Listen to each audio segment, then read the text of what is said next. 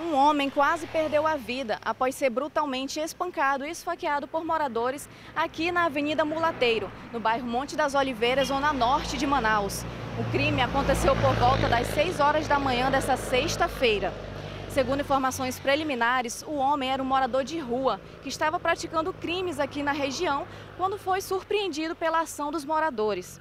Essas pessoas iniciaram uma sessão de espancamento e deferiram vários golpes de faca contra o homem.